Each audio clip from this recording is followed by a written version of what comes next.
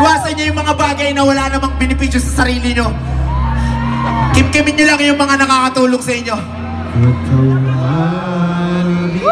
Mo sana ako sa aking mga nagawa Ano mang buhay ang ibigay sa atin ay pa salamatan Kahit nagkakaano ka papahirapan ay may karapatan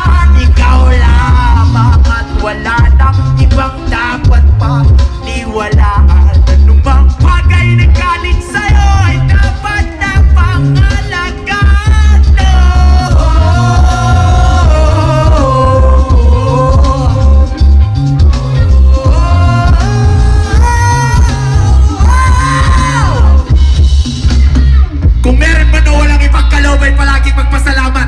Ang buhay ay galing sa Panginoon. Kahit kung ano man ang mangyayari sa'yo eh, ay walang makakawat. Ang mahirap, subalit hindi lang